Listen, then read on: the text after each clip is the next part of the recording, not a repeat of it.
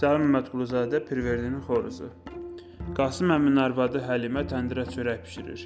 Kömək üçün təzə kənddən bacısı Zübeydəni çağırtdırmaq istəyir. Qasıma tapşırır ki, get Zübeydəni gətir. 3-4 dənə isti çörəyi də dəsmala büküb ə, buna verir və o dolağın belinə qoyub yola düşür. Bu vaxt oğlu Pirverdi eşşəyin quyruğundan yapışıb atasına deyir ki, xalamdan mənə bir qəşəng xoruz gətirərsən. Atası razı olub yola düzəlir. Qasım təzə kəndə çatanda kəndin mollası Molla Cəfərə rast gəlir. E, və Qasımı məcbur evinə qonaq çağırıb qayğanağa qonaq eləyir. Qasımı danlayır ki, gör nə gündəsən ki, arvad səni çörək bişirməkdən ötürü bu boyda yollara salıbdı. Özü isti havada. Qasım da arvadın öhdəsindən gələ bilmədiyini deyir. Molla Cəfər kənddə yaşı ötmüş Pərnisə adlı bir qadını Qasıma seyğə elətdirib eşşəyə mindirib yola salır.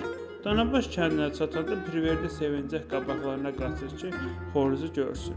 Pərnisəni Zibeydə bilib sevinir. Sonra mat-məhtəl qalır. Bundan sonra isə iki arvad davasına bütün kənd toplaşır.